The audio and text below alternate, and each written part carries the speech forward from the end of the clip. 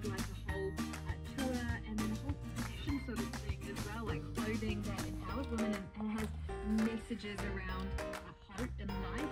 Um, one of my favorite songs of hers, oh, I love this one. It's called Through Your Eyes.